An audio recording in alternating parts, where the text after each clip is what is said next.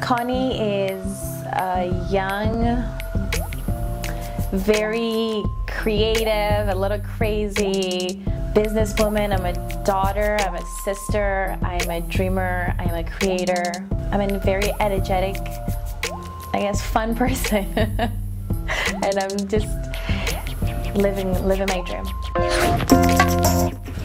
Currently 20 something. I was born and raised in Africa, in Zimbabwe to be exact, and then moved to Canada when I was about 13. And I've been in Canada for that much time and working my way around the world throughout that time as well.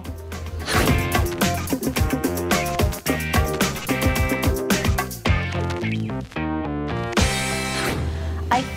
it's a combination of both because when you read the first chapter of my book, you realize how being an African child and moving to Canada affected the way that I see things. It affected um, how I was treated by my peers at school, and that's when I started wanting to self-develop from beauty and uh, just personal growth. It, it has everything to do with my whole transition from growing up in Africa and then living in Canada.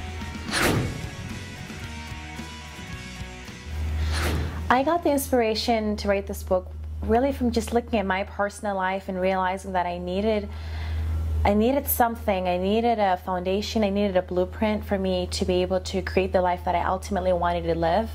And then as I started making this list, because it started as a list initially, and as I started writing this list, I realized I needed to elaborate on every point. And the more I elaborated, the more it really started turning into a book.